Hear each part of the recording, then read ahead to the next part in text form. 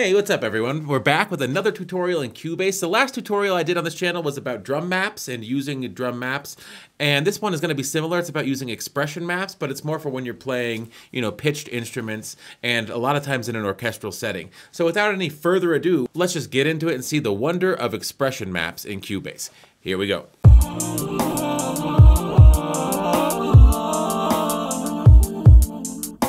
Okay, so we're here in the project and I'm gonna show you what I mean uh, in terms of articulation. So we're gonna just go to this horn patch here, open it up, and I am using Iconica. It's a new sample library from Steinberg.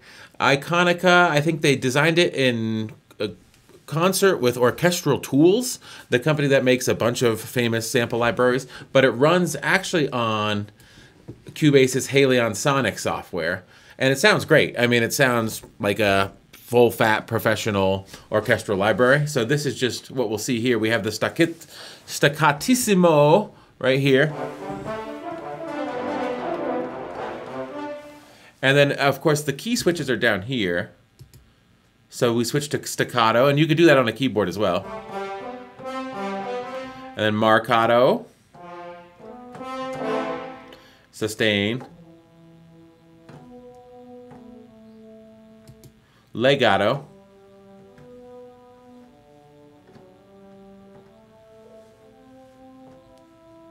and finally repetitions.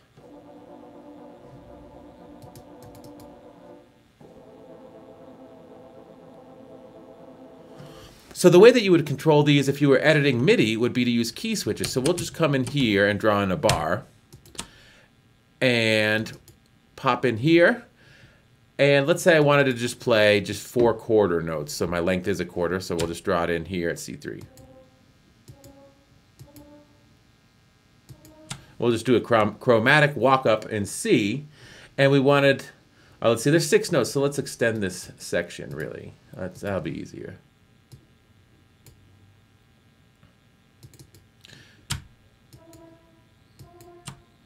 Okay, so there's six notes, six articulations. The articulations start at C0. So the way you would do this is down here at C0, we could just have a different articulation for each note. One, two, three, four, five, one more, six.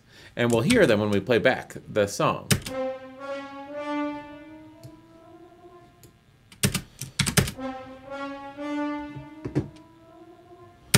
And that's fine and good. You can do it that way. But a lot of times, if you're composing with something, you know, in an upper register, you won't realize what articulation you have selected. So what expression maps allow you to do is bring your articulation, the current articulation, into full focus. Uh, so we'll just delete these at all times by adding a controller lane down here. And the unique thing about using Iconica is that the expression maps are already supported in Cubase out of the box. So I'm going to show you the easy way first with Iconica and Halion Sonic, and then I'm going to show you if you're using a third-party library with a third-party VST like Kontakt, how to do that. So what we'll do here is if expression map is not uh, on your inspector, it may be because it's not checked here.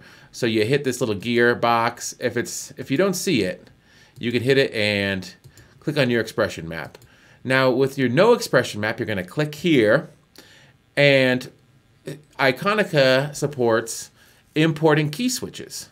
So you just do that and it has them already named because it's uh, smart because there's tight integration between the VST and the DAW. So I think that's fine. Now that you have this, we'll go back in to our uh, MIDI and we can add a controller lane by clicking right here. And the controller lane will be articulations and dynamics. And you'll see here we have the six different articulations so we can program them in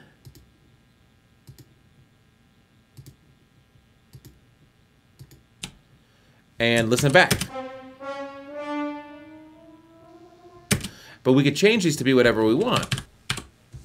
So this could be repetitions. And marcato, sustain. There we go. Uh, so you can change, uh, so you can change articulations like that and have a visual uh, feedback about what exact articulation you're doing because it says so written out, you know, horn staccatissimo, marcato, sustained. And so you'll see it here on the left. And that is super nice to always have that visible while you're composing, especially if you're using instruments where the key switches are in a strange area. So you actually have not just random notes, oh, this is C sharp, oh, but that's staccato, not staccatissimo. I want a staccatissimo. No, you actually have exactly what each articulation is and when it triggers. And it's nice because with a instrument that is a Steinberg instrument, you can just import the key switches and your expression maps are alive. And the current uh, the current key switch that you're on will be indicated with green arrows. So that's nice also. So that works great for Iconica because it's a Steinberg library, so there's tight integration. But what if you're using Kontakt or some sample libraries in Kontakt and or any other third-party VST and you need to make an expression map? Well, it goes pretty quick and it will save you some time in the long run if you create them. So let's just uh, fire up a Kontakt instance. Uh, and we'll get into it and we'll use, I don't know, woodwind ensemble, oboes essential. That sounds fine. Okay, so we have four articulations, staccato, crescendo, decrescendo, and sustain. I think you can add more. Yeah, there's more, but whatever, it doesn't really matter. So what we're going to do is create a expression map for those four. So what we'll do here is come into no expression map, expression map, and we'll just we'll create a new one. So we'll call this uh, oboes new. I was screwing around with it before to make sure that I didn't say anything wrong. Okay, oboes new.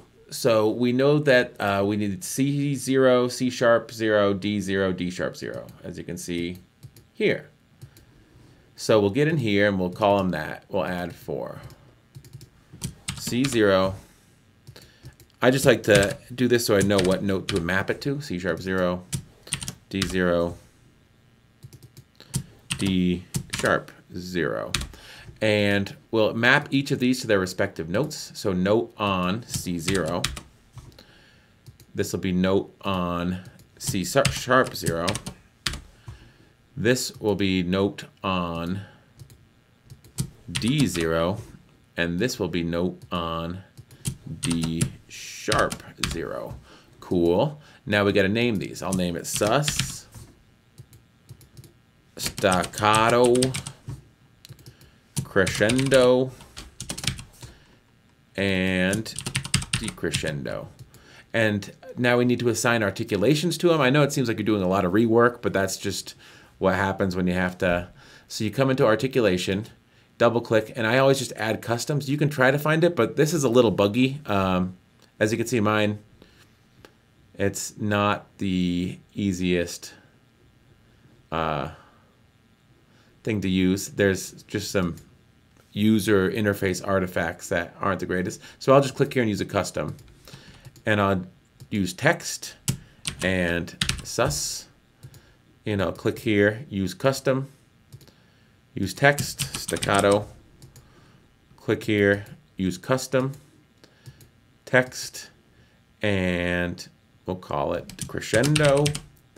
And then we'll click here, use custom, text, and decrescendo. Now, there's two types. There's attribute and there's direction. And I always use direction because I think attribute is sort of like bop, sort of as if it was like a one millisecond it hit that key switch. Now, direction is sort of like it plays that key switch until the next one is hit, which some sample libraries actually use. So I just use direction just in case the sample libraries use it. Uh, and it's always worked for me. So with that simple thing set up, we have a new expression map for this oboes patch. And we'll just load it, oboes new. And I'll draw in a little, we'll do, yeah, we'll do a half note for each one. So, uh, Make these twice as long. Okay, so we've drawn in our four notes and then we need to add the articulations. So we'll just hit Alt here and put in every half note. We'll switch articulations. And that should, oh. And that should do it. Let's take a listen.